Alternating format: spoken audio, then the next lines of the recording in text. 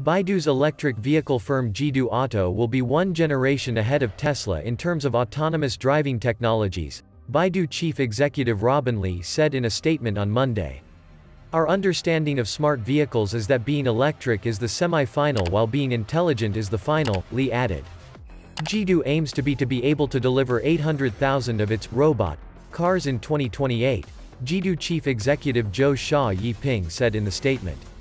Jidu also plans to deliver its second model for mass production in 2024, Xia said.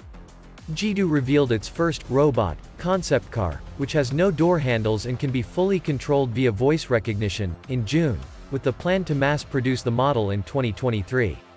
Besides equipping the car with autonomous driving software technology powered by Baidu, Jidu's robot vehicles will have two lidars and 12 cameras.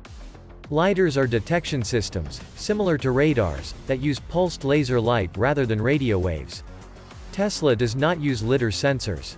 Baidu's EV making plan comes as tech companies around the world race to develop smart cars after Tesla's success in commercializing EVs.